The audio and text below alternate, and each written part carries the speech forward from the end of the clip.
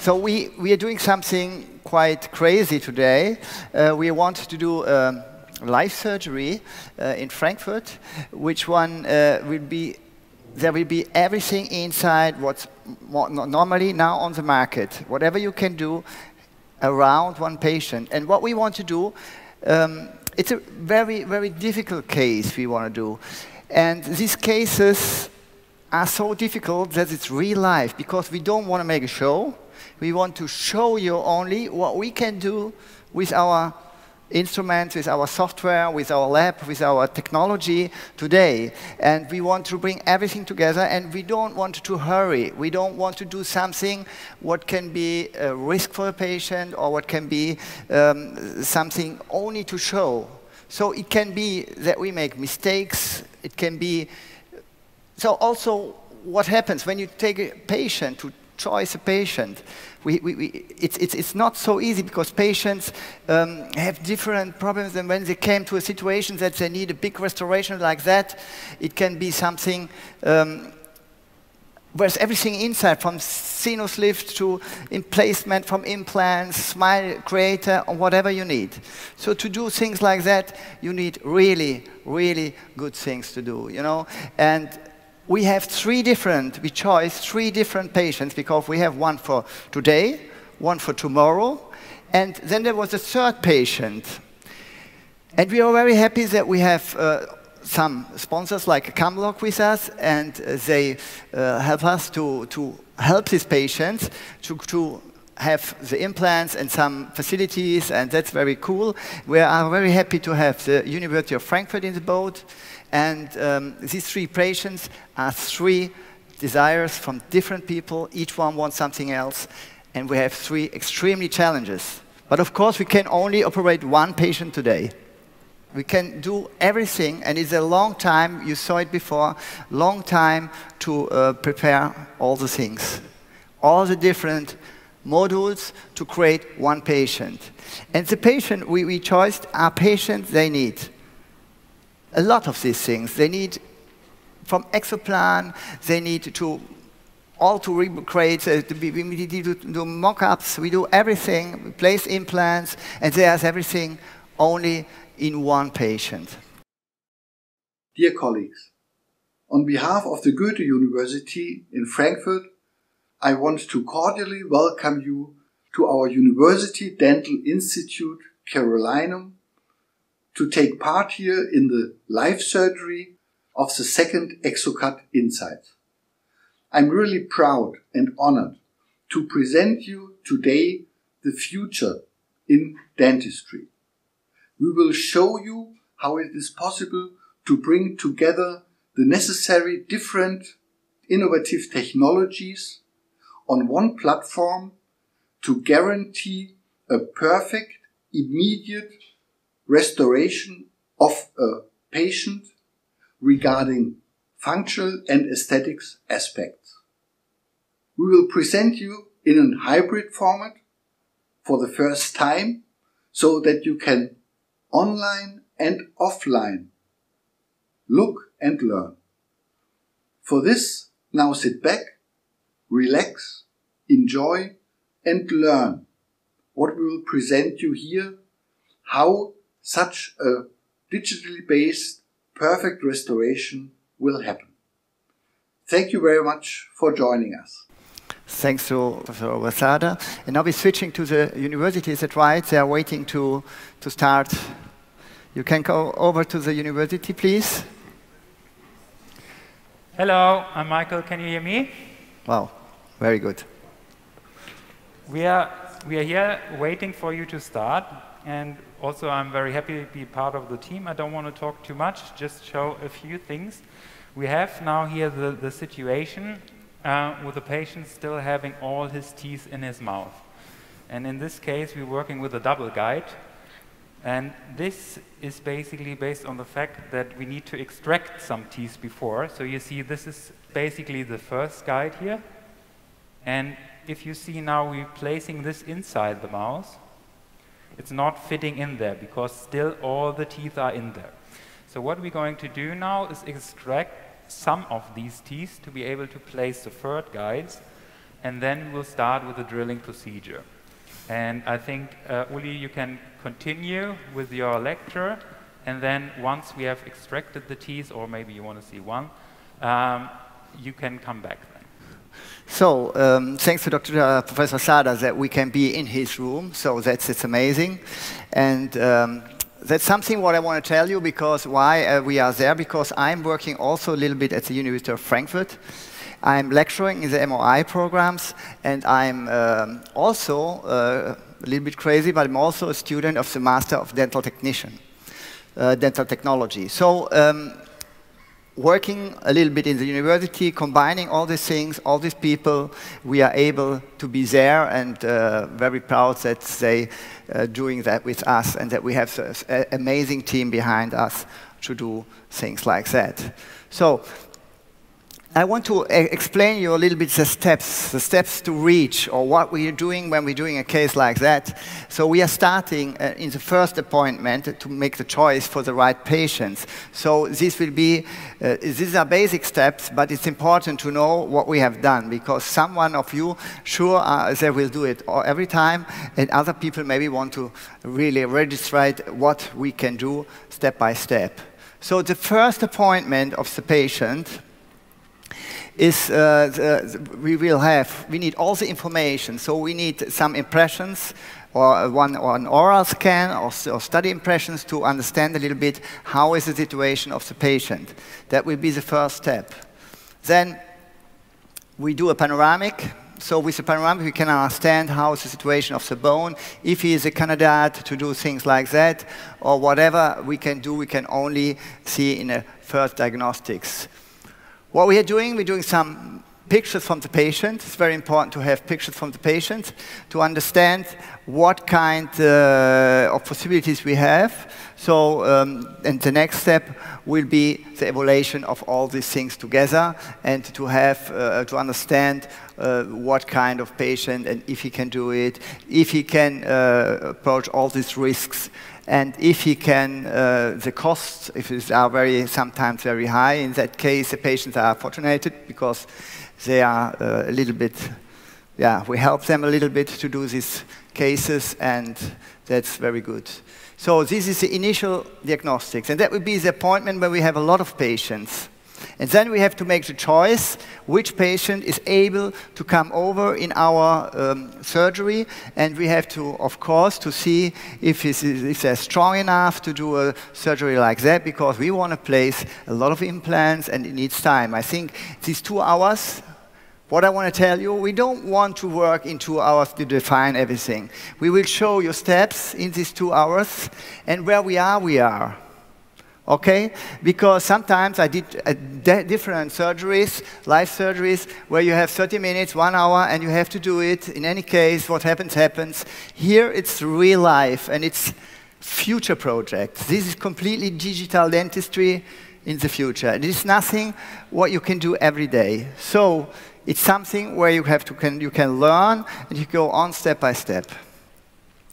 Our patients, each patient has a life, social life, has a lot of things behind and why did he reach this situation and, and you have to understand everything and um, it's not each patient can have a big restoration. They have to be prepared to, to clean the things, to be able to, to use the teeth afterwards.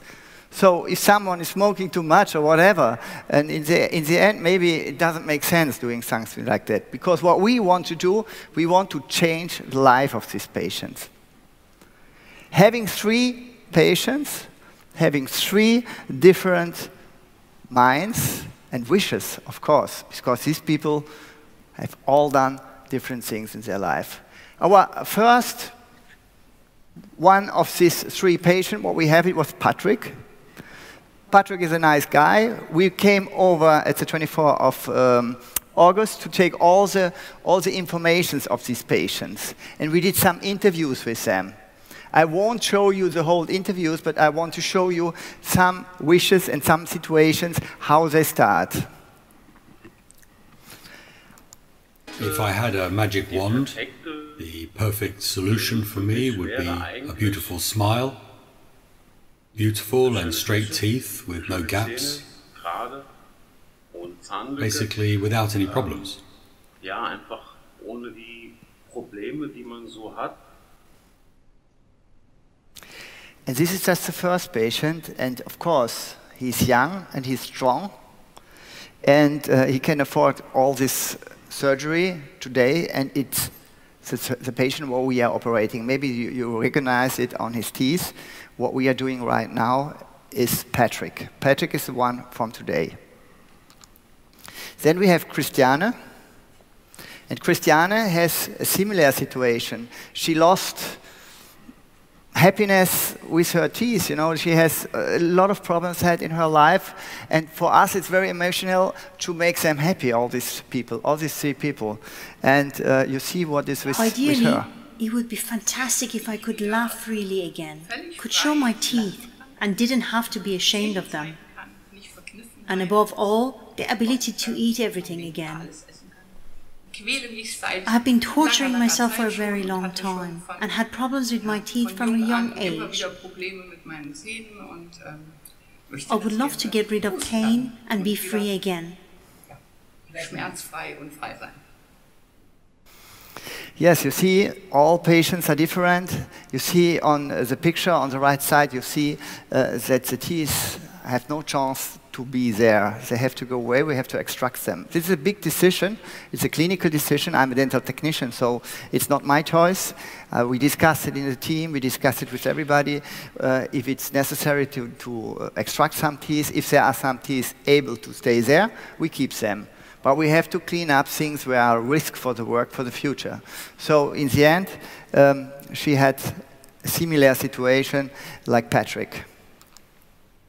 Then we have Renate. Renate is an old lady, a very, very, very kind, nice lady.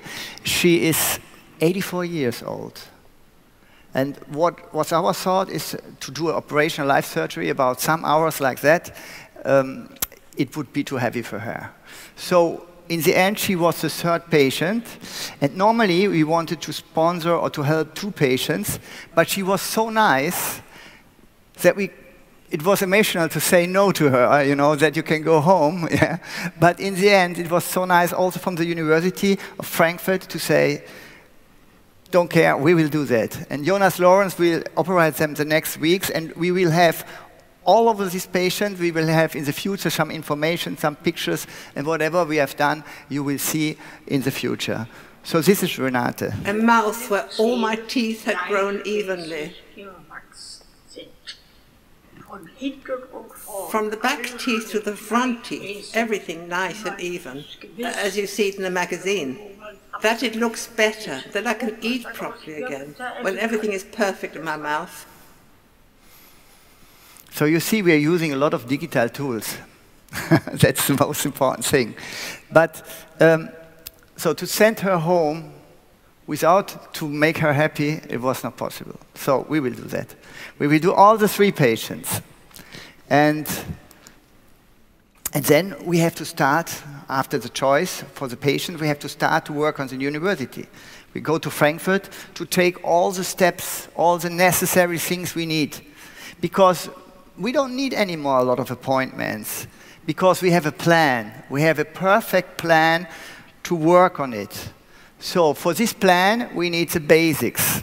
And the basics, I will show you step by step what we need. So it was, it's not so long, it was some weeks ago, 24th of August. Because also DICOM data has to be fresh. You cannot use DICOM data from six months before for a surgery like that because things are changing. So it has to be just in time, it has to be, you have to be attached to the surgery and everything doing step by step. What point, I have a look at what point they are. Oh, they're quite, I can see what they're doing, and they are on a very good moment. We will see them soon. So I explain you the steps, and the steps are the B, or the data collection. Uh, of course, we take an intraoral scan. It's the first thing to do. So we have the first data. Then we need the DICOM data for the implant planning, and we're doing uh, all the things, all in the university in Frankfurt. We take a face scan, of course. And then where we are working is something, I don't want to say new, but it's something what I'm, uh, I have in my eyes for years, because we are talking about guided surgery, talking about uh, years ago from all on four, guided surgery, digital dentistry, but there was one point missing. And that was, for my idea, occlusion. And now we are quite round. We can also make occlusion movements through Modjaw. So we did a combination to all of these different things to make everything round. Then we need the pictures for the smile creator, of course, because if not, we cannot do the smile creator. Then we make these interviews with the patients, what they want, because we have to know to make them happy. Of course, we need the color. We can do it just in the same moment. We can do it with pictures. We can do measurements, whatever you want. But what I'm doing in a case like that, we take, I trust a lot, digital dentistry, but these are extreme cases. So for extreme cases, I prefer to take a normal impression to make, in the end, a last check if everything is working well and everything is going in a good position. So that's very important for my, for my idea, because we don't want to fly, we want to do very good and cool works for this patient, and we want to be in a safety area. Of course, we are doing scientific documentation. We will document everything what you will see in the future. Maybe we will do some uh, publication about these works. And we do the diagnostics and the um, communication. So now we step into all these different things what we are doing. So the first is the intraoral scan.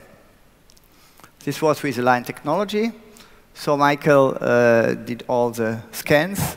And what we have in all this workflow right now, it will be only Patrick because I don't want to uh, show you all three patients right now because it will be in the future.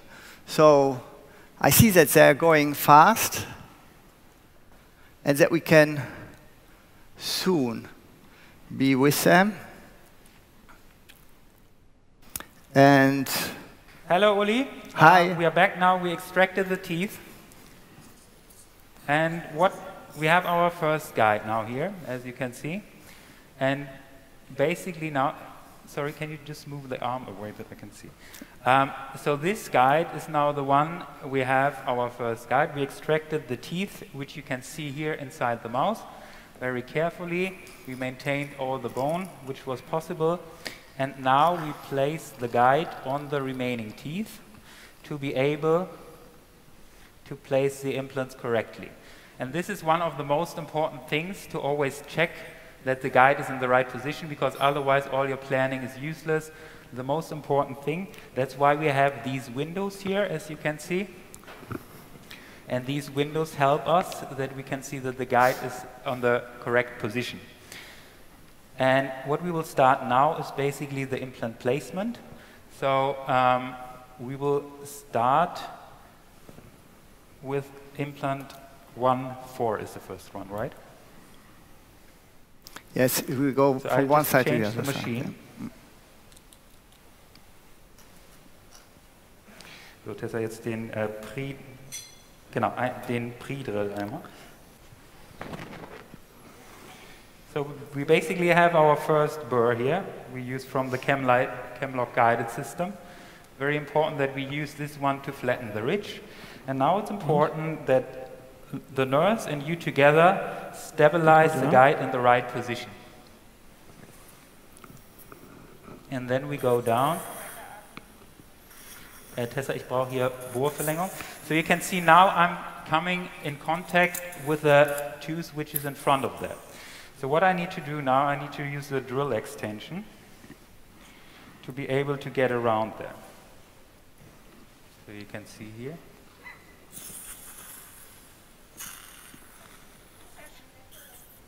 Wie bitte? 1,4. Also. Alles okay, Patrick? Gut, schlimmer als das wird's nicht. So we can see already a little bit contact. And we can uh, basically, for the implant on the opposing side, we need the tissue punch.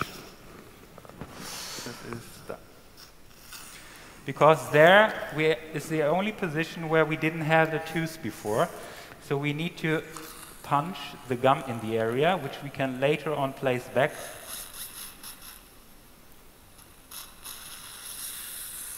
Tessa Mikroskalpell und Jana einmal die Schablone rausnehmen, bitte.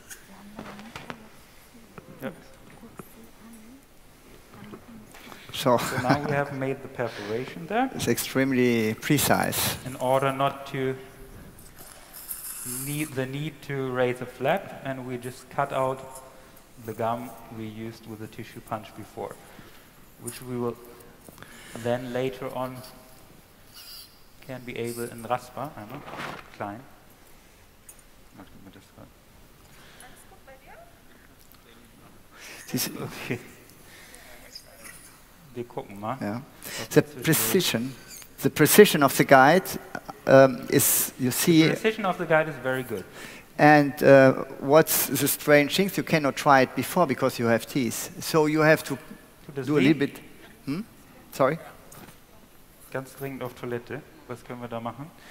Ähm, kann ich einmal eins, zwei Bohrungen machen und dann gehen? Oder tut im Mund was weh? Okay. Können wir das irgendwie machen, dass wir dann äh, Toilette einmal frei machen und die Tücher? Ja. This is So. real life. Tissue Punch nochmal mit der Verlängerung. So we basically will continue the drilling and Uli can continue with the lecture. Okay. Yeah, yeah, okay. We will do s- some interruption. Okay, thank you. Switch over to the lecture. Okay, uh, this is what I told you. It's real life. These patients are are normal normal patients, and we don't hurry anything. We take our time. And I saw that uh, I was, was very happy because you know when you're doing a planning a guided surgery like that, and you're doing a guide on post-extractive areas, so you can have the problem that the guide is not going in position. So that, that then is everything finished because just I, I, I had something like that some months ago, then you have to interrupt because uh, about Corona, it was a problem. When you take the impression before COVID and you want to make the surgery after COVID, no precision anymore. So you have to be very, very careful about these steps. And you need all the right tools to do that because in the end, uh, you will have enough problems if not. So back to the intraoral scan. That was the first step. Then we take the pictures from Patrick. Um, of course, he, he has a nice smile, but uh, okay, he was unhappy with this situation and um, had to extract his teeth. That was a problem. So in the end, we have him to see them from both sides. You can uh, go on and you make the pictures for the smile creator. The smile creator was amazing this morning. Um, Waldo showed how to do it, and it's one step. It's everything a very, very uh, exciting thing to do these things and to put everything together. Of course, a face scan. We need a face scan, and uh, there we used uh, the Bellus face scan. Yeah, that's it, okay. Look at the camera. Turn left. Turn to the middle. Turn right. Turn to the middle. You could try to get Tilt your head up. logo the Turn to the middle. Bellus as well. Tilt your head down. Turn to the middle. Capture completed. Please capture cap. Oh, the middle to the turn. Your head. Middle, the middle. And all this data you need to place in the software. This is the work before. You see, we need the DICOM, and also this we did in Frankfurt. And he is uh, doing all the registrations and everything. And then we have the, all the material to place in the software afterwards.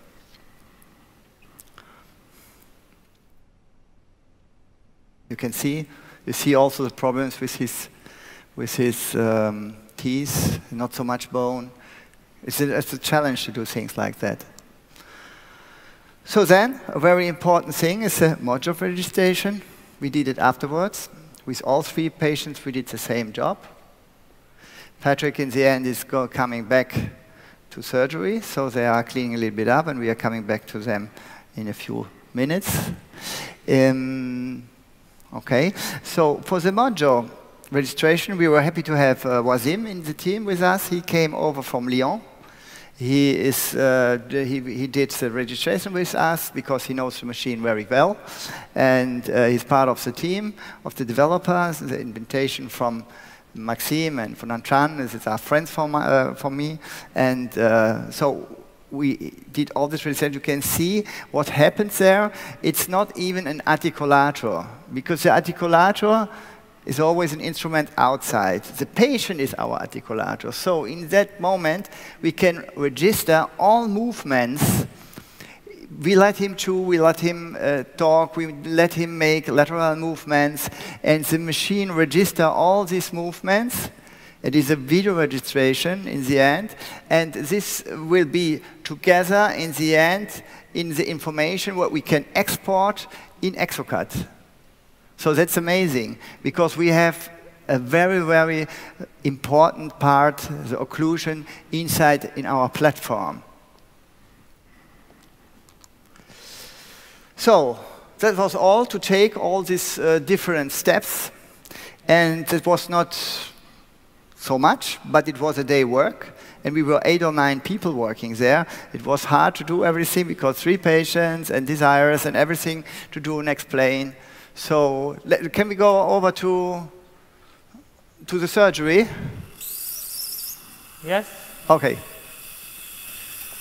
So basically we're starting and uh, we as well collecting a little bit of bone during the drilling procedure. Ähm, dann gib mir da schon mal den nächsten einmal, die nächste Größe. And the system is very nicely because we don't have any, any spoons, so we can go directly into the socket. Most important thing is always to make sure that you stabilize the guide correctly. Again, collect a little bit of bone. Dann gib mir den ersten nochmal. Super. And we are starting to place uh, the implants quite close to the middle because of the fact that we want to stabilize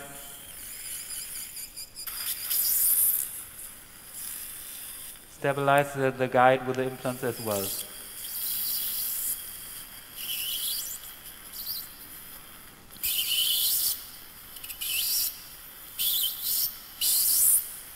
Make sure that you have sufficient cooling. Den kannst du mir noch einmal für die Seite geben. And in the meantime, Tessa is always collecting the bone from the burr.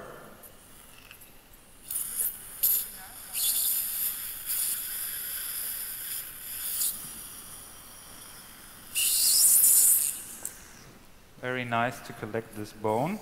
We can then later on use for the other side. Das ist jetzt welche Länge? So we are now with uh, length 11. I can feel that for both of the implants I have already good stability, so I won't do any under preparation. In case that I would feel already that the bone is very soft, I would then only go with the last drill of one dimension smaller. So in this case, we're going to place 4.3 times 13. Okay. Den brauchen wir aber fast gar nicht mehr. 4 times 3 uh, times 13. In case I want to do under preparation, I would only go with 3.3 uh, with 3.8 times 13. So the last burr was one size smaller, again stabilizing the guide, collecting the bone. Das ist 13. Just wait. Um, das ist welcher? 11. Okay. So we go the other side, 11.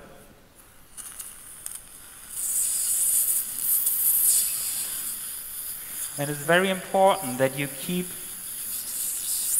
keep cleaning these burrs. So don't go this, this, this, this, because otherwise you will uh, overheat the bone. So, yeah. So Tessa is always nicely cleaning the bone of the burr. So we use our last burr.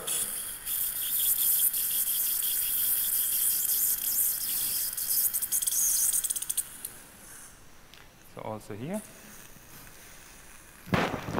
So in case I would feel that the bone is very dense, which is not in the upper jaw, I could even use a dense bone drill.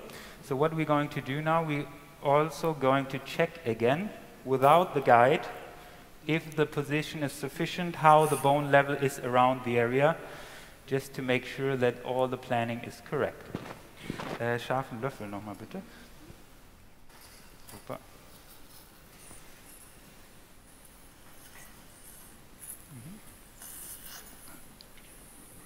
Ist gut, den kannst du lassen. This looks good. Gib mir da nochmal den Dance Bone Drill, Tessa bei dem. Ähm, den Dance Bone Drill für 13. Das ist. Genau, ja, korrekt. Korrekt. Nee, den, den 13. Das ist richtig. Den hier. 13, ja. So, in case of uh, the fact that we have very dense drill, a dense bone, we have a special burr here we can use put the guide back. And then afterwards, uh, we can already open the implants.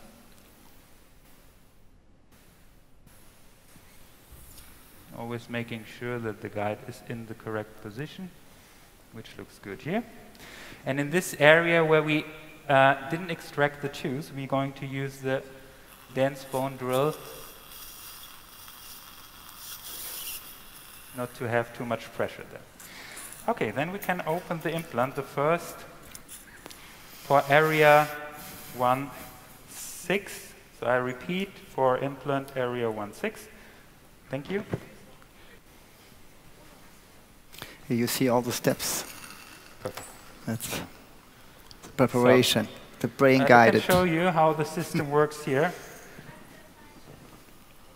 4313 brauche ich. So we need 4.330. Thank you. Ist das kein Alkohol, ne?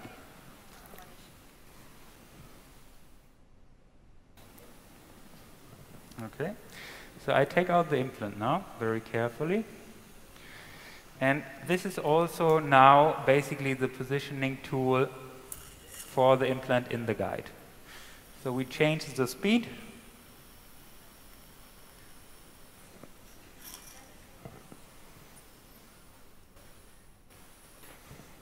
So we can see now we have already 30 Newton centimeters.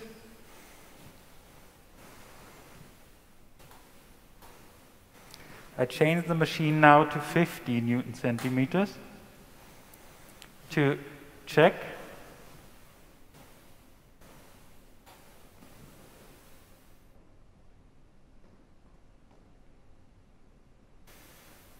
Now you can stop also, you can make also the and other now side we can before. see that the implant is nice in place. Yeah.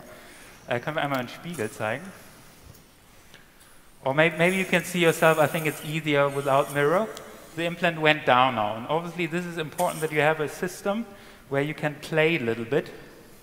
Okay. I don't know if you can see it in the mirror maybe. Oh, we saw it. The implant is perfect in position. We can use uh, 2.4 jetzt, das Implantat aufmachen. Nee, passt. It's very important to do the other this side. is always basically the challenge and what you have to try out a little bit uh, that with the without the dense bone drill in cases where you do immediate implant placement sometimes it's sufficient sometimes you need it because in this case the bone even though its upper jaw is very dense so we had the thing and the, the implant is again uh, 4.3 times 13 right? So also here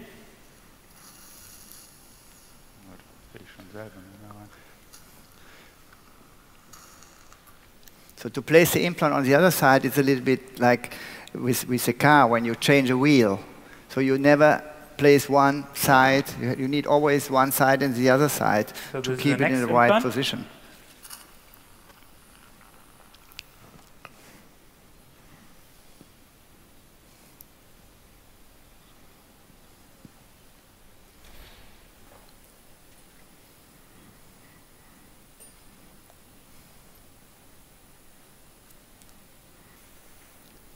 And we can see also now we have this next implant in place, which looks very good. So basically we will continue. Yeah. if Uli wants to go ahead with the lecture, that's fine. Otherwise, yes, okay. we will place the other implants. Okay. So next one is position 1-1. Okay, I'm so going on, and you will work. Thanks a lot. See you later. So now I'm coming back to the lab, and I will show you the steps what we have done in the last week after the 24, we have to finish all the cases, we have to print everything, and to prepare everything for today. So that was an amazing part, which one the uh, patient doesn't know, maybe the dentist doesn't know, and we are working behind every day, and we have to exchange a lot, of course, ideas with implant positions and everything, but it's going on step by step. So I show you here the steps. We have the data in the lab, and with this data, we start to prepare the complete digital workflow because we have to place everything together on the platform that can work together step by step. We choose the right pictures for do smile design or smile uh, creator and whatever. And uh, we are starting to create the smile in that moment afterwards. Creating the smile, and we do the evaluation of the module because the movements of the patients in the end are giving also a lot of important informations. Then we place everything in, in the exoplan software and can plan with the new positions of the new Smile Creator design. We can place exactly the implants. We try to place them if the bone uh, gives us space enough in the right position for prosthetical um, maximum. So the surgical guide design, we will do that. Then we do the temporary design. And uh, then we have all together, and we will do the movements with, with Modjaw, and to understand exactly where we have uh, to, to place all the different teeth in position. So then the last, or one of the last uh, positions is printing and milling. And the most important things, of course, is security check control, because that, without that, you cannot go blind in a surgery like that. So it has to be prepared 100%. And of course, we're doing photography. If not, we could not show anything to you here. So printing is the next step. We are printing, of course. We're printing every day in our lab. We have a small lab with only five, six people working because we have so much big cases and uh, it's very complicated to have new people in the team. These guys and people are working for years for me. There's uh, one, she's working 20, Nicola is working 26 years for me and uh, they need everybody in my team is working for a long time because we just look each one to the other and we know what we have to do. So uh, it goes step by step, and we're preparing all models. These are the situation models, like our three patient starts before. And uh, so we have all the T's in position, and it's the most important thing to have. We have these articulators printed out, of course, just to have the situation where the patient starts with. And then we start with the Smile Creator. And this is amazing how it works but nobody's doing that better than Waldo. I would like to ask him to call him, help me. but uh, in the end, we did it. And I think for the patient, it's a very good solution. The problem is also to, to, to place the teeth in other positions because he has a lot of space in between the incisors and he don't want to have it anymore. So you have you have to be you, you, are not in the positions you know where you like to be. It's not in the same place where the first incisor was. We, we change positions. And you can see that there and we have to close it. And then, so it's always a little bit of compromise to place it in a perfect in a perfect place. So and this was a smile created for him. And what have we have uh, in the next step is that we have the smile, his old smile and his new smile. So he's not opening too much his mouth. It was quite difficult to, to motivate him to open his mouth because he's used to keep him closed, probably. In the next future, probably he will laugh a little bit more. So what we have is a Modjaw registration, and you can see different things. The protrusion, you can do, you have all these movements, and these movements are necessary to create the occlusion in a right way for this patient because we want to hire him a little bit. And you can do it exactly on, on, on the same road how he is doing his occlusion and his movements. You see, it's writing down all movements of this patient. We have all these informations.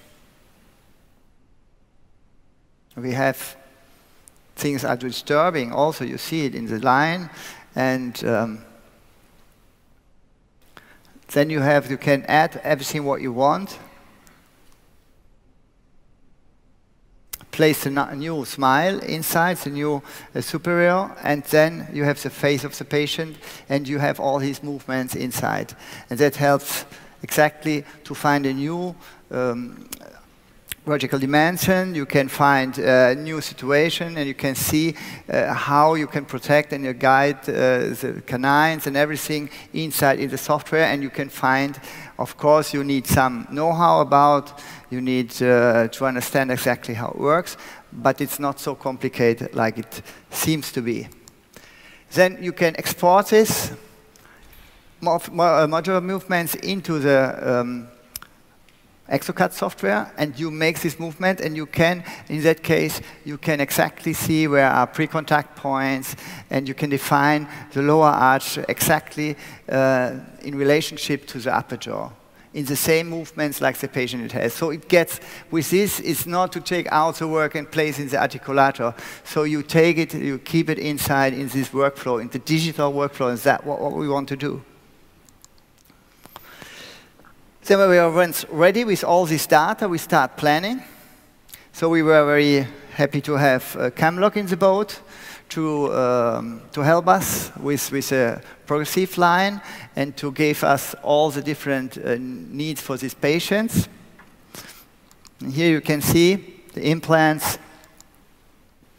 And this is a COMFOUR basement in between, because you know when we are doing cases like with eight implants, to make a screwed retained um, restoration, you cannot have uh, divergence. So you have, you need, you need uh, from the, the internal hexagon, it will be an external hexagon with the COMFOUR, and you have, you are, these um, implants are very deep, and you have the distance to come near to the gum. So it's uh, better to, and more easy to place uh, screwed retained works afterwards and you have the provisional abutments. And all of them, they are someone very small, and you, all of them together will be that where we glue afterwards our provisional.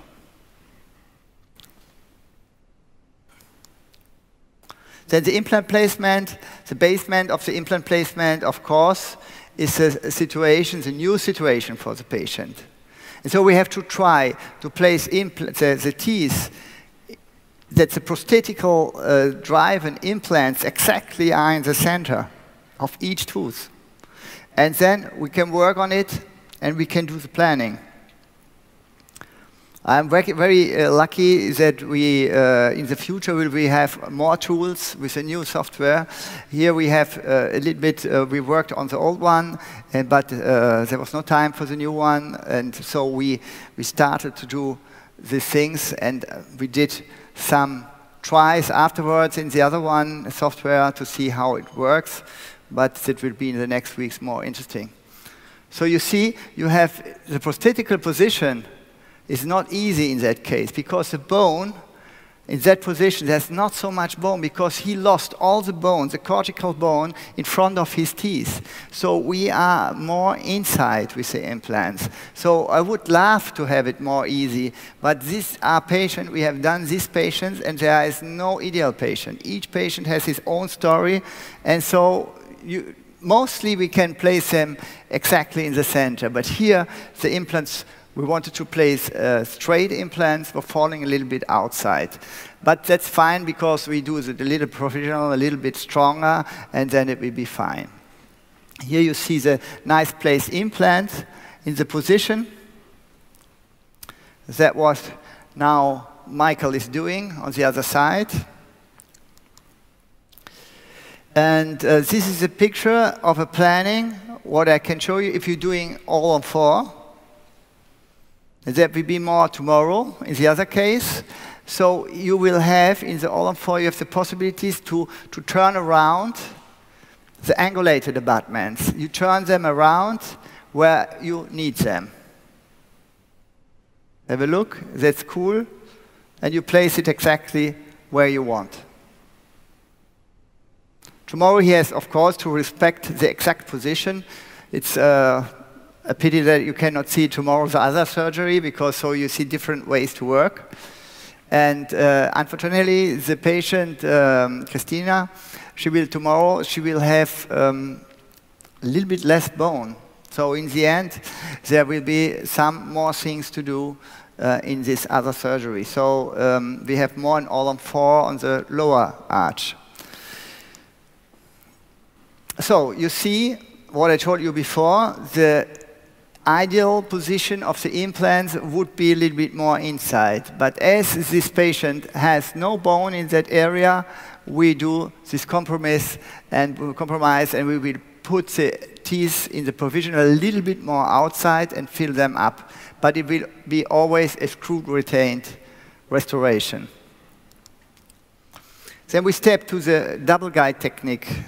Um, if you understood it before, like it works, and we will see later on when you change the guide. So we are doing no anchor pins.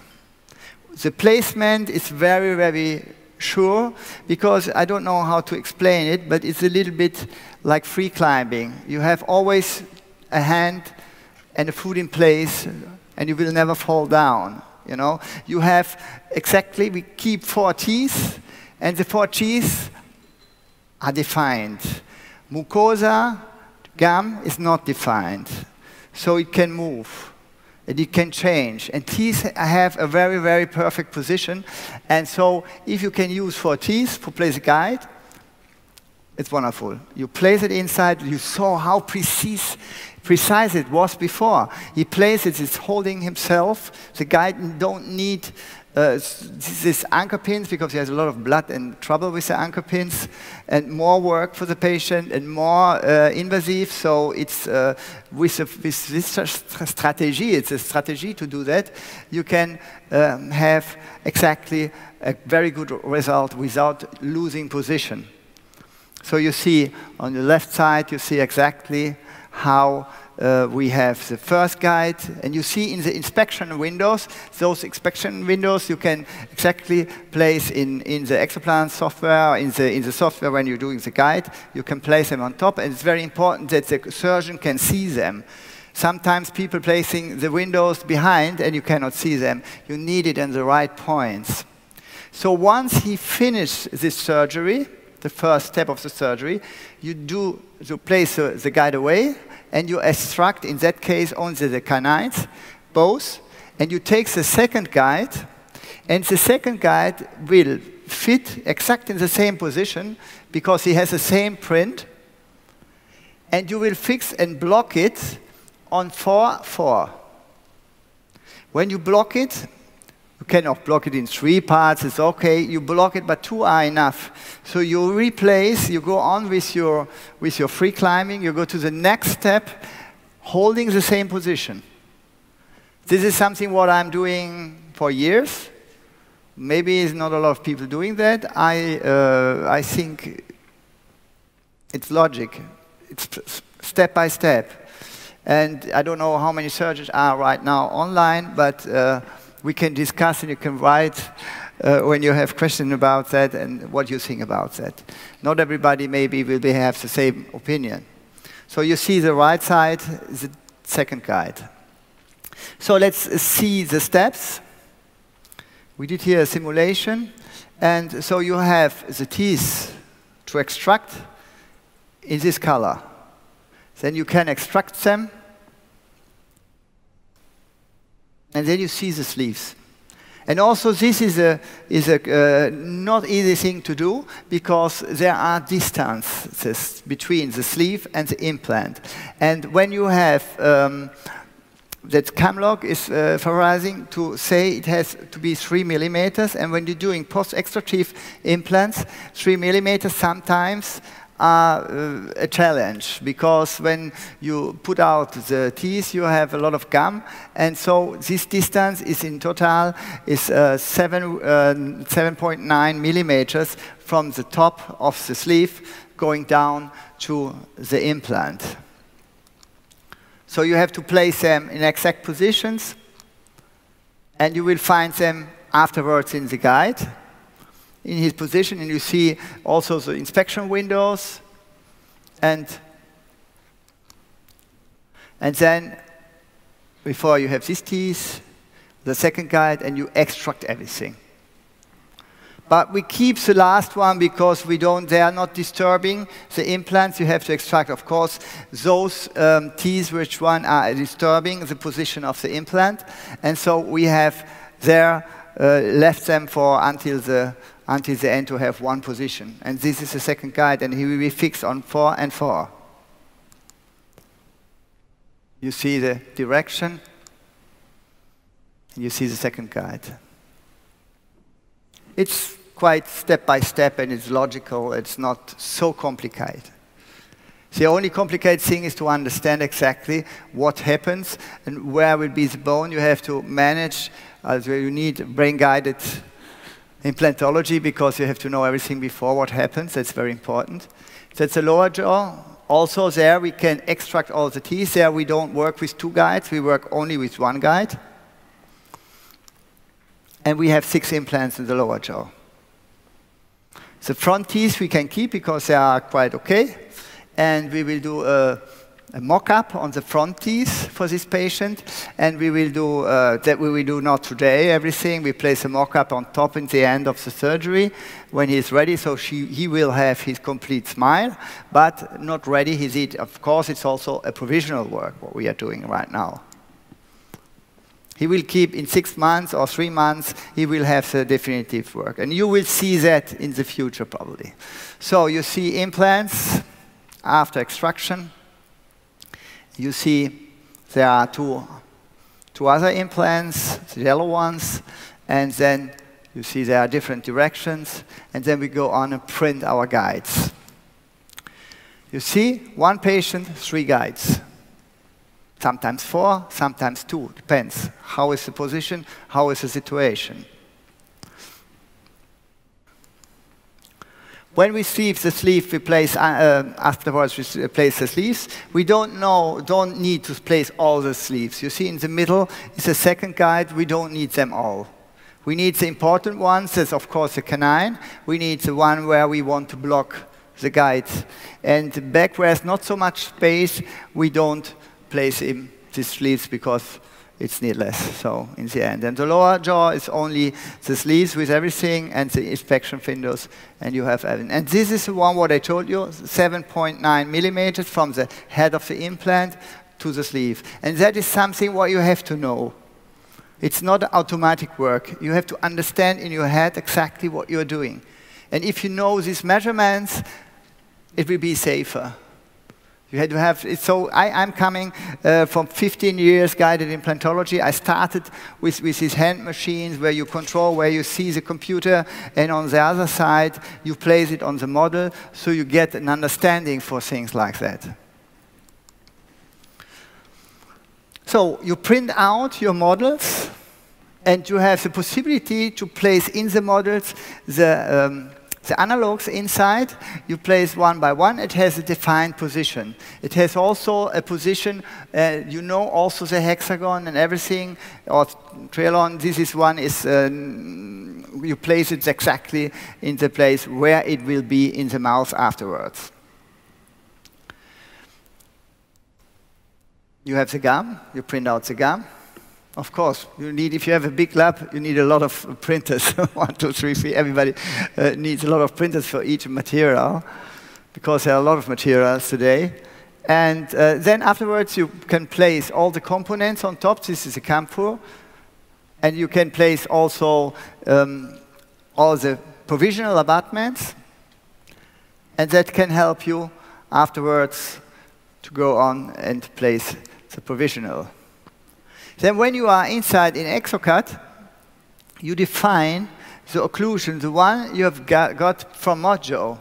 So you can make all the movement and you can change all the form of these teeth and all the movements and uh, contact points before. And then, step by step, you go on milling. And when you mill it, you have the circular bridge. In, this one is in PMMA. You have to see that, the, that, uh, that it's strong enough. Because if uh, implants or if provisional breaks, it's a problem. You can lose the implants. So in the end, it has to be something it's not only nice, it has to be strong. It's more imp important to be strong than to be nice, okay? In the end, it's better to have some more material, or if not, if you see that's very fine, you need a metal frame inside to block everything together, and you can do it also by hand in composite. I did a lot of works with a metal frame. You can also mill the metal frame, and you can place by hand composite on top, because sometimes patients don't have money uh, and they want to do the work, but they cannot afford a, definitive work. And so maybe a good metal frame provisional can keep for two, three, four years in the mouth of a patient until he's feeling well to do the definitive one. And then you have your result. And this is a mock-up what we have done for the lower jaw and they will place it afterwards in the mouth. Let's have a look how, at what kind of points they are in the surgery. Can they hear us? Can you talk with them?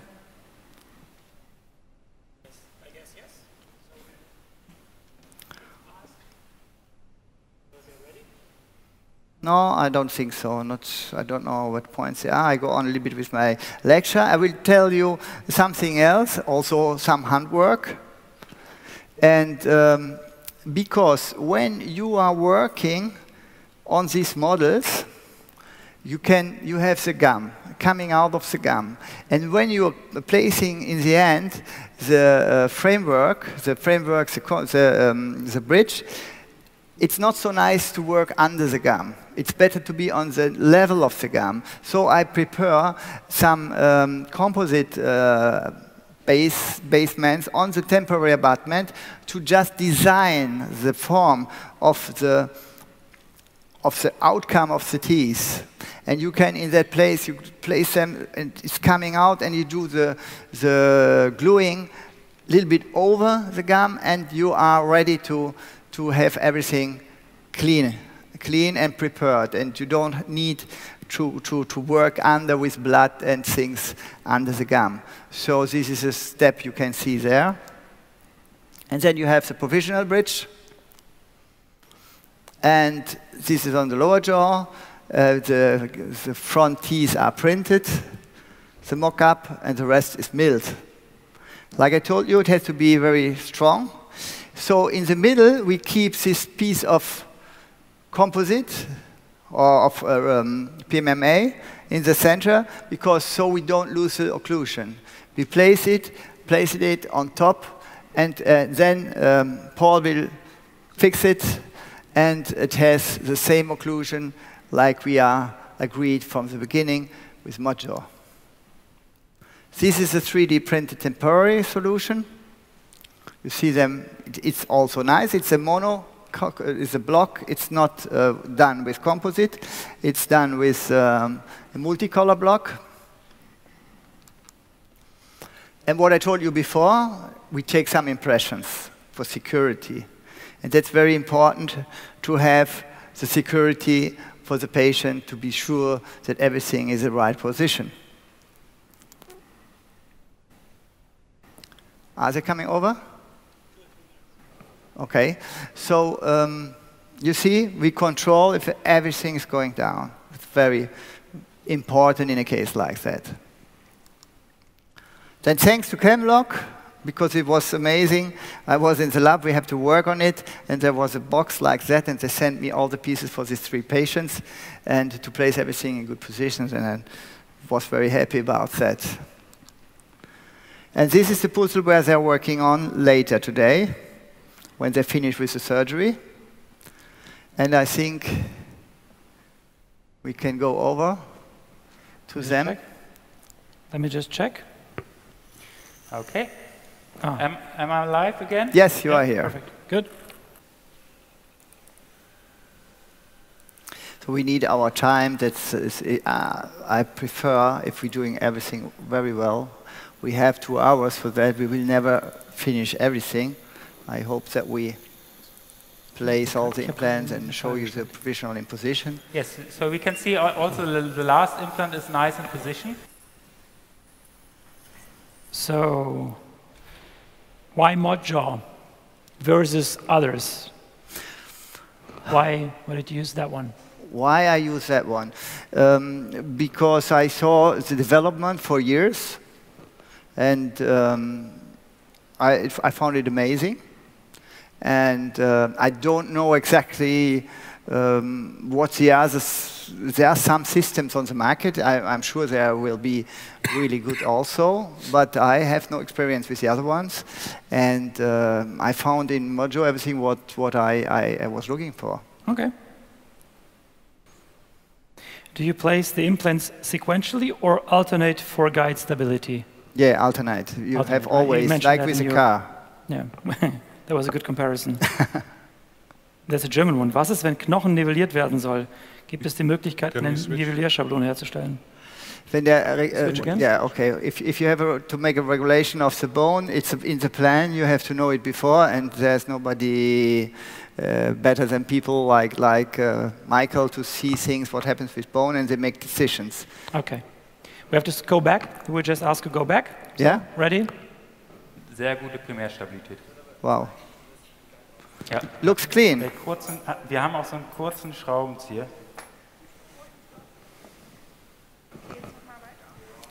We're on. So we have placed every implant for the first guide. Now you can see maybe in the position here, everything is nice in place. So what we're going to do now is unscrew the guide and hopefully no implant will come out with the guide, right? Yes, it's uh, c- can happen. Yeah, of course. so your testimonial of everything what we are doing here. So in the end, It's live. Besser? That's life, yeah. No, I remember the times because more than 10 years, 15 years, we were working on that the projects Uh, that is people said. I did it in 25 minutes, the other one in 20, I in 20. But it's not important, the time, it's important the result because So we we have our see them as they're patients done and not, not a race, you know? So what you see is real dentistry, it's digital dentistry, also, if you are like uh, digital dentistry, interesting, you can join our society. We are the Digital Dentistry Society. Okay. So And we now have a lot of things to like take that. out the carriers. Very good.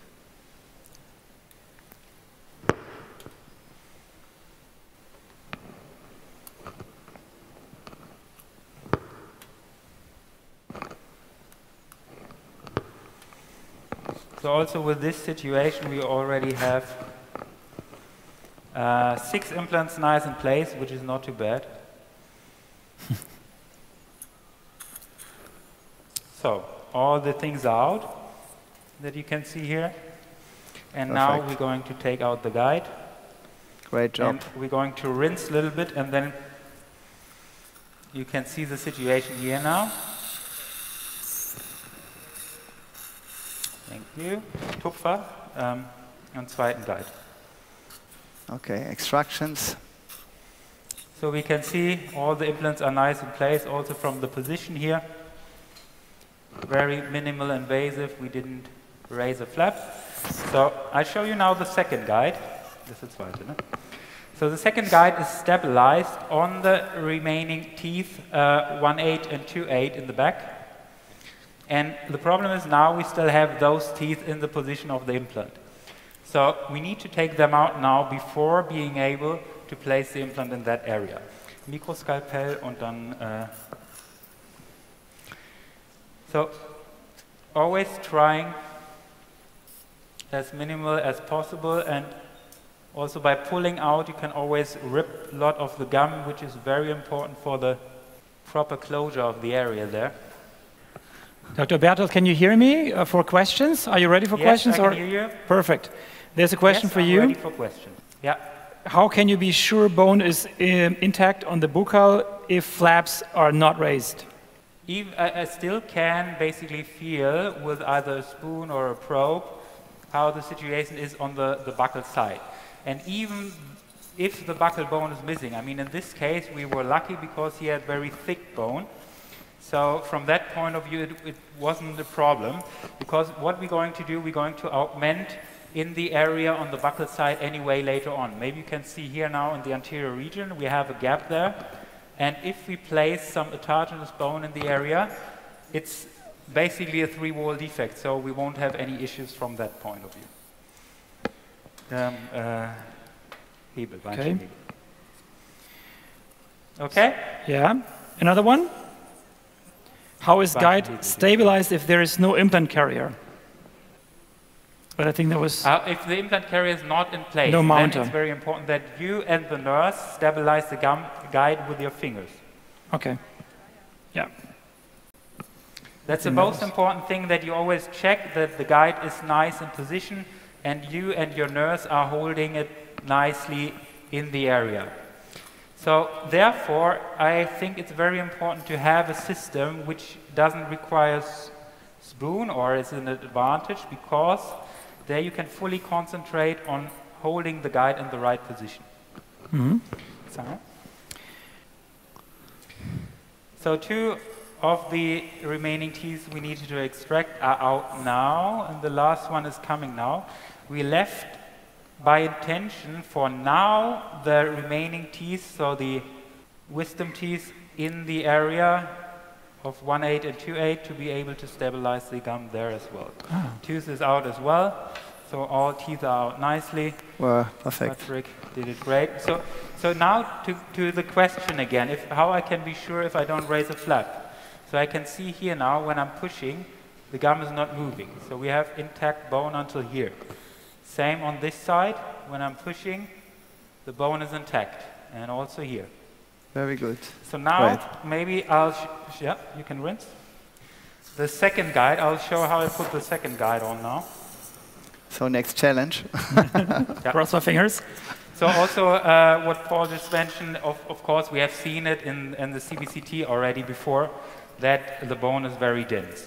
So now you can see the, the second guide is stabilized. Sorry. The second guide is stabilized on the wisdom mm-hmm. teeth, and we're going to use implant in position one, four, and two, four to be able to place the remaining implants there. So we can see this fits very nicely now. Good job, Oli. Dann einmal diese, Not äh, finished. Wait, wait, wait. If they, they are not going in the implants, it can be tricky.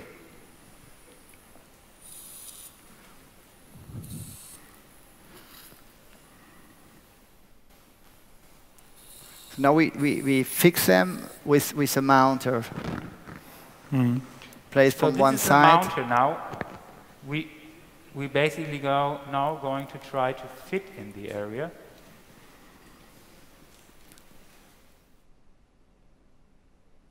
So we have to do a little bit pressure there.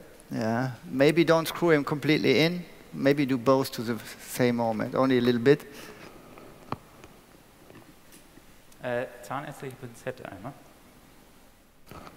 So you can see now this flipped in now. Äh, den schrauben Sie kurz. Not, not too fast. Ja. Den kurzen aber. Für die andere Seite. And now we're going to So now uh, fix afterwards the is the next moment. One, one temp in that position. And the other one as well.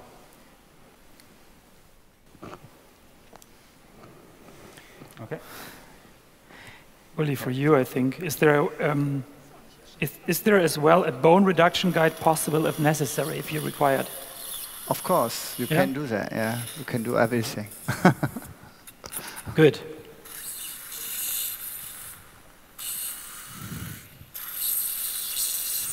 Okay, I was waiting for this question Mal here. Why not remove all teeth and have a single guide uh, supported with anchor pins?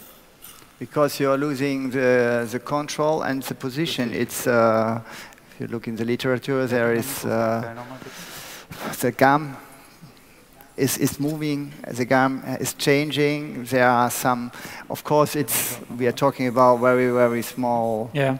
difference, but um, So you would you would say this is the safer way, the better way on, in terms of quality. we have to define it literaturely uh, exactly. We are doing works uh, with this and trying it. We have to make a measurement from one to the other one, but Um, of course the gum is never uh, as precise as the tooth. Ähm, sure. Because two supported guides are more kannst dann schon noch mal precise. den äh, ersten einbauen, diesen flachen da, für Regio 1.3 und für den anderen den nächsten bereithalten. So we're now removing the soft tissue we just punched. You can also move it a little bit distally. Okay. And now we're going to start the drilling procedure for the other side. Hmm. So we stabilize it again a little bit.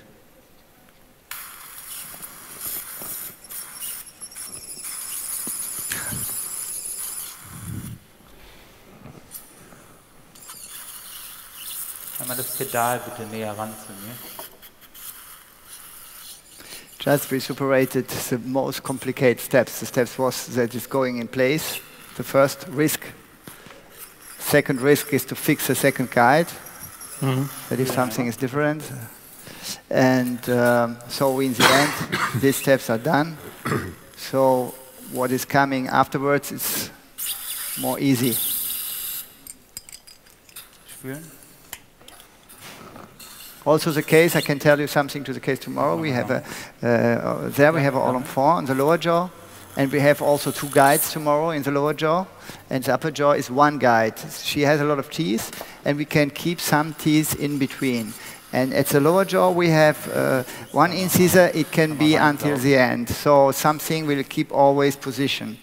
So that will be tomorrow. And we will be also two full arch bridges, upper and lower jaw. And um, and then the old lady, we will see next week what we, what we placed in her mouth. Just we did all the things to prepare, but it was from the time frame better to concentrate on those both cases. Uh, Patrick wants to go to the stadion to his friends and to present himself with new teeth. So that's the I challenge don't, I don't know whether we mentioned that uh, about He Patrick, mentioned that, he, yeah, yeah. He mentioned that. Yeah, yeah. So n- not sure whether you all guys all understood that. He But, but he's from Darmstadt, so no, he's from he's Darmstadt, but he works for Frankfurt. No, but uh, I asked him uh, if he can, um, if he want to go on the stage with the T-shirt from, from Frankfurt, and he told me that his friends will kill him. He works for the local, uh, actually the Frankfurt yeah, Football actually, Club. it's his job. He's on the, yeah, Yeah. he's working in the stadion and taking care for all things for Eintracht, Eintracht, Eintracht Frankfurt. Frankfurt. Yes. That's where he's. Not Äh, Darmstadt die- die 98. And these, these are not best friends, these clubs. No, As usual in local neighborhood. sports.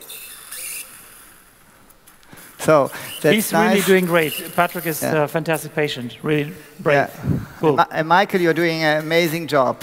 Yes. I'm so happy. You, I was less relaxed before. you before, did a now great job in preparation, I think, Uli. I don't know. We will see if the provisional fit. After we, we, if we are in time, uh, I will, we will see Paul placing the provisional. Can you hear you, me, Uli? Yeah, we can hear you perfectly. Great. Yeah, yeah, no, it's perfect. Uh, I, I have also a comment because some of the in the audience uh, say, okay, uh, why we need to um, uh, surgical guides, uh, double costs. Uh, but you have more costs if you uh, have more to do with occlusion and other things, because uh, the soft tissue borne guidance is never perfect in accuracy of fit. And so this is a perfect gib invest if you have a second guide. Secondly, I want to comment uh, because of this uh, congress that also the devices where we have in the digital chain is especially the 3D printer. And the 3D printer now produce two surgical guides which uh, perfectly fit to each other, so they are more or less identically. And there's Yeah. also a nice uh, publication since uh, I think one month ago that uh, this accuracy of fit for these uh, templates are perfectly in the reproducibility of the guide. So if we have two guides, we are sure they are more or less identically in the position and therefore it fits on the already placed implant. So you don't have a headache the second guide is not working perfectly on the already placed implants. Was war das? 13? Yeah, that's thanks to the 13? technology, yeah, or to the machines, to the printers. Yeah, we the have. machines are very accurate today. Yeah, this one was a 3D printer from. If you, uh, if you make these uh, templates with a with a original or no analog uh, things like me, like a full denture, you, you get out of a, uh, of precision, and even the milled one is a little bit tricky. So now Michael don't have to talk; he has to work. Is das So 13? it's much faster. So, Paul, another question, or Uli? Yeah. When you do a bone reduction guide, you open up tissue, and how are you going to fix this guide in this case? And after bone reduction, how you place the drill guide with pins? Question mark. Depends. No, uh, b- Yeah. bone reduction guide mostly is starting on the edentulous jaw. And here you have only one chance uh, to uh, make a fixation with screw or with pins. Yes. Depends on the system you use. And of course you have to make ahead Uh, the flap. Yeah, because you cannot make a bone reduction Uh, right, together with the soft tissue. This Yeah. will end up in a mass. Mhm. But I think every surgeon knows that, uh, so it's nothing special. And uh, there are two options. So after you make a bone reduction, you place a second one, which placing then the implants, but this is not so accurate. And therefore we have this uh, approach nowadays uh, that after you make the bone reduction, you click so on the second one, wir jetzt gleich, or you have some connections uh, so Ähm, that you don't have the need for removing the first template where we do the bone reduction. But there are different uh, yeah, approaches, and uh, these kind of approaches are not quite so long in the implantology community. Genau, it's some years. So we don't have a lot of literature on that, how good or how bad it works. Sorry, Paul, just one interruption. We have placed now all the implants. So what I will do now, I will unscrew the guide, or unscrew the, the posts again. And then the next step will be that we're going to place the COMFOUR abutments. Yeah. So everywhere we have achieved uh, a nice primary stability, even though this is uh, post-extraction. Are you ready for the countdown, uh, Paul? You have to make race after. Maybe we can place Don't only. worry, we are used to that because the proster is always the last one, and so we mostly don't have a lot of time. no, the Don't dental worry. technician is the last one. Did you? You don't. He's the first one and the last one, right? but um, I want to say to the audience, um, if somebody is not familiar with the Camlog system, the COMFOUR abutment is an abutment which is lifting from the implant level to the abutment level. That means you have this tube-in-tube system, and then you put in this COMFOUR abutment, and then you end up with an abutment play, uh, platform, which is nicely designed uh, for screwing on top the bridge. Um, and I think this is uh, similar, like other implant systems, call it multi-unit or others. Uh, it's the same approach. So we went from the implant level to So, the abutment level with this kind of äh, von abutments. 1,6 nach vorne. Die Aufbauten, ja. So now uh, all the implants are placed. We can see that we have some missing bone in that area. I can show you also how much bone we collected. So this is all autogenous bone here. Machen wir groß. Also Wow. Yeah. This is all we collected. No, nothing That's artificial, just so during much the drilling there. procedure. And this is very nice. This is we're going to place a Deckschraube einmal erst. Okay, so give time to Paul to place some. I have Eine another. Deckschraube von den Abteilungen. Uh, I, I have another four äh, slides die to show. Yeah, yeah, can. So plus, uh, perhaps we can show that Michael plays one or two of these COMFOUR abutments, Yeah. and then you can show your slides. Okay, I, I think I start or do some. In, uh, was haben wir in der Front? 1, 1, 1. So here is uh, basically the COMFOUR abutment. We have a screwdriver. Is it possible to have 10 which minutes is- more or no? Which is stabilizing it, that it can, Five, cannot 10. fall down. There. And now the idea, so we do suck Is that- one more time Satelliten, and make sure that there's nothing in the interface. And then we screw everything into the implant. So we feel there is certain stop and this tells us that there's nothing in between there. So we could give some Newton centimeters on there. Nehmen wir mal Prothetik äh, 20. So now uh, you can show your slides, okay? Yeah, okay. But we come back in about three, four minutes. We come back. Okay. So we are back to the things they have right now, so we understand exactly what they are doing. You see the COMFOUR abutments, you see the provisionals, and so that's the work what they are doing right now. And uh, then yesterday we had a meeting and talking about the surgery, and we we stuck together with with Paul and everybody to exactly to understand what can happen. And in the end, there were a lot of things who could happen. But I think they did a very, very good job, and it works very well. And uh, what I told you before, we keep time for doing that. Go, it's not a race, and he will do everything perfectly. We have in our boxes, in our lab, we send out one case completely with everything inside. So in the end, the surgeon has only to work, and before he has to connect with us to place the implants in the right positions, because we don't um, know exactly where they have to be. We are not doctors, so in the end, we're preparing the case only uh, for you.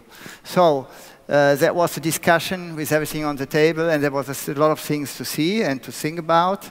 And what I talked before, my good friend uh, Scott Ganz, uh, probably he is in the US right now online and looking at our surgery. And I think that uh, the brain-guided concept in brain-guided implantology is the thing what we do today.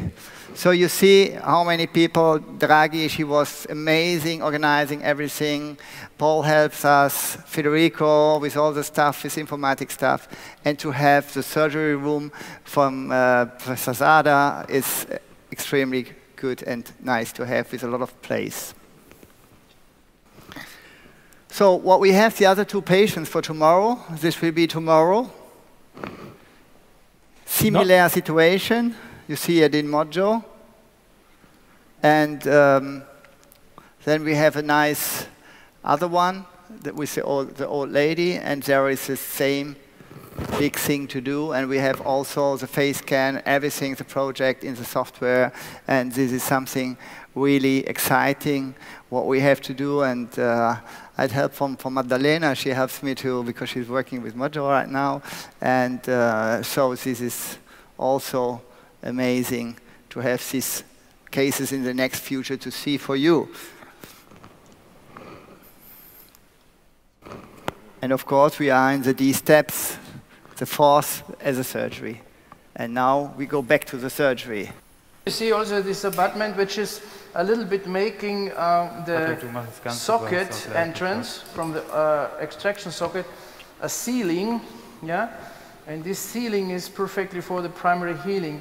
And this was also in this digital workflow done by Uli. So that we- we don't So, place now the round den- den da. abutments which coming from the Und dann haben wir company. We customize it a little bit that Wo the socket were closed, what you see. Probably with the new Galloway, you can do it by the Galloway auch gleich. and mill them. Okay. It's very nice. So, and um, after we place the second uh, two, so we have four, then we make a try-in of the bridge. There's a question for uh, Uli, a quick one. Um, Yeah. Can you handle it? so, please. will you do this case with white and pink porcelain, uh, rot-weiß? Yeah, you can do it, but it's not this case. We don't need it because he don't lose the gum. Okay. So it will be a very nice frame. You will see it right now, and depends on the cases. The old lady probably she needs a red gum. So Okay. you have each case, and that's nice. You can plan everything before, and you know what you have and what you need. But in this case, no. No. He's young. He's young. Cool. Ja, ist okay. Was ist das? Ar- And also, if you do it post-extractive, it's not going down. You know, you have in the end a very Yeah. uh, stable situation. Kurz einmal durchatmen, mal einmal zu. Können wir vielleicht ein bisschen hochfahren, dann drückt es auch nicht ihm so in den Rücken alles. And there was another question more to us, not you guys. So will this be recorded so that we can see that again later? Yes, as I mentioned this morning, all what we're doing here is recorded, and the access is via your ticket and your access code. Four weeks after the event, so you have four weeks time to watch everything again and see it. But I'm pretty sure that we will publish together with um, with Uli and the clinic, and also find a way to publish the other the other um, cases. And Uli mentioned we'll do tomorrow, so you guys will do tomorrow the cases. We're nothing to do with it, just to I- avoid here. misunderstanding. So there's no live surgery anymore tomorrow. Not not live, but they will do that. Yeah, they will finish them, and, And we'll. we will register it also. Yes. They make photos and pictures and everything. So the documentation will be complete. And as you already said, maybe just to use this uh, 30 seconds, die andere Seite. you already appreciated nach- nachher sauber. what Camlog did. Once again, from our side, thanks a lot to Camlog who supported us in this, and others like uh, also Motra and, and whoever was involved, but especially Camlog for, you know, making sure that all the implants are available, that the patients can be treated. Fantastic. Thanks a lot, guys. Yeah. That's a real It was partnership. amazing. Fantastic. All the team working in uh, university, also Modjaw sent the device to the University of Frankfurt to have it Okay, there. the- that Yeah. was very nice from them. Sent also Wazim Einmal So to we help have us. the extraction of the two third molars now, and now we make the insertion, which is a very exciting moment from this Uh-oh. Bridge. Uh-oh. There is also a plethel to, to fix it very well.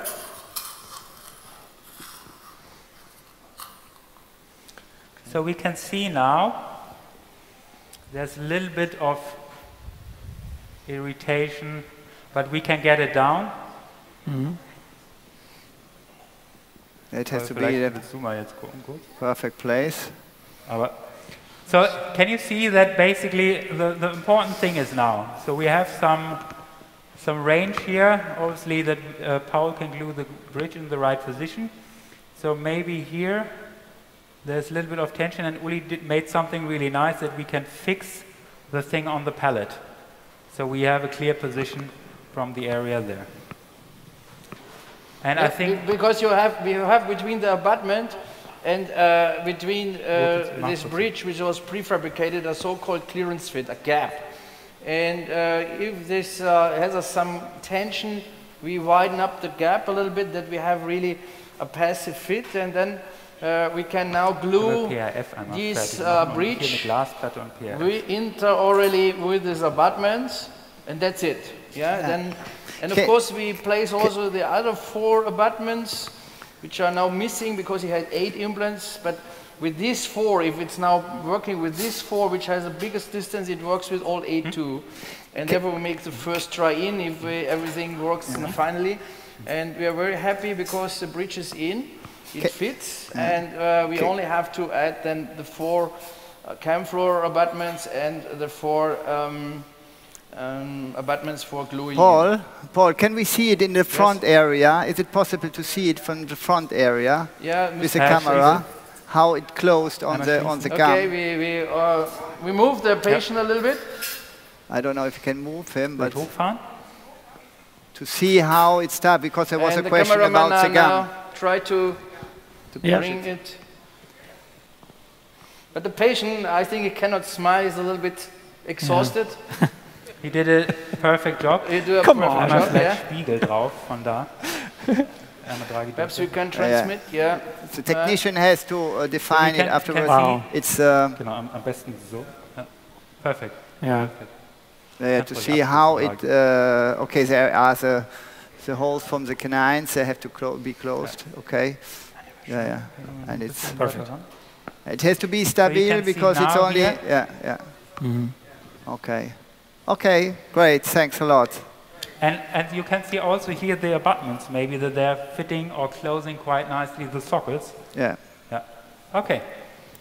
Thank you very much for watching. Thank, thanks my team and everything, and Yeah. we will continue and uh, let you know the result tomorrow. Okay. Wow. Thanks a lot Thanks a to lot. A big applause, please, for especially for Bravo. Patrick and the whole team. Wonderful. Thank Great you job. Great, great. We do our best. Wow. Michael is the lead of all. Yeah.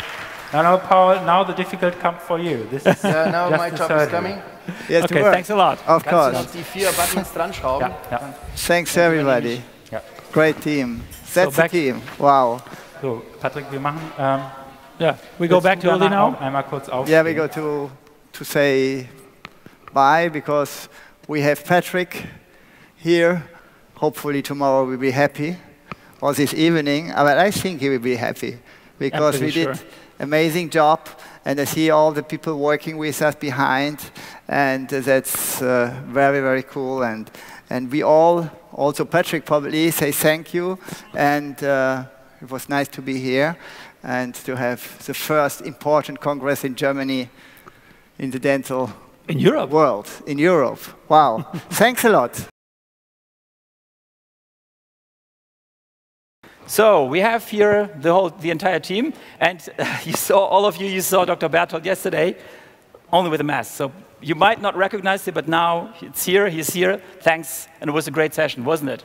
It was beautiful. And uh, also thanks to the whole team and to this brave patient. He was doing this all in one day upper and lower jaw, full arch reconstruction. And I, I think, first of all, big applause for Patrick. Yeah, definitely. It was amazing. Yeah. And uh, I think the result in the end showed that uh, all the time we spent in the planning on all the tools we used finally paid out and that everything matched. So Yeah. I, I was very happy. So um, here basically you can see the, the fit of the final prosthesis, or no, not the final one, but the temporary. And I think uh, the important part is uh, how we paid attention also for the uh, already forming the emergence profile with these in, in individual abutments Uli created. And also there we can see uh, on the post-op X-ray that all implants are nicely in place and uh, all together this is what comes out if you use the tools in the right way and have the team with all the expertise from every field. Thank you one more time. Perfect. Thanks again.